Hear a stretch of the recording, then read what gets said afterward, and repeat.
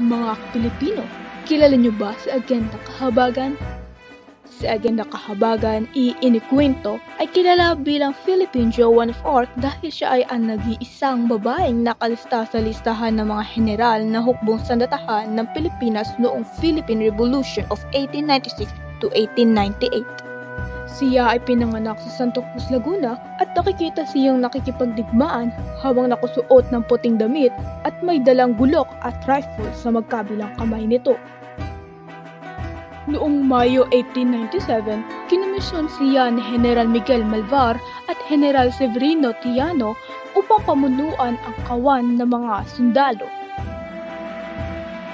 Noong na mga Oktubre 1897, nakasama siya ni General Artemio Ricarte sa pagsalakay ng garison ng mga Espanyol sa San Pablo, Laguna.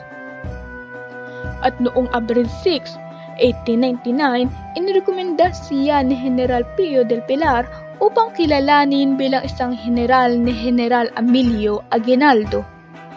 Kaunti lamang ang impormasyon patungkol kay Agenda Kahabagan, ngunit ngayon ay alam na natin na mayroon tayong babaeng general na lumalaban para sa bayan.